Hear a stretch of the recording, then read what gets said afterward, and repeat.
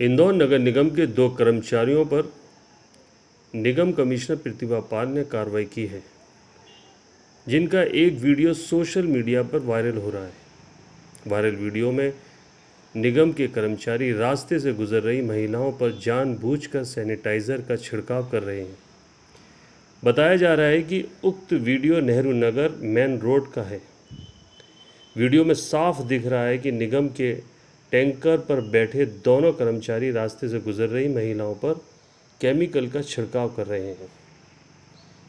निगम commissioner द्वारा एक स्थायी कर्मचारी को निलंबित कर दिया गया है, जबकि दूसरे मास्टर कर्मी की सेवा समाप्त कर दी गई है।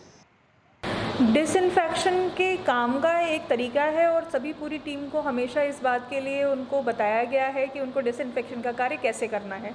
इसमें सभी को ये स्पेशल ताकीद की गई थी कि कोई भी व्यक्ति किसी व्यक्ति पर डिसइंफेक्टेंट का प्रयोग नहीं करेगा, क्योंकि कई बार ये इसके कई सारे नुकसान भी हो सकते हैं। इसके लिए बार बार बताए जाने के बावजूद कुछ लोगों ने काम में लापरवाही की है तो उनके खिलाफ कार्रवाई की गई है।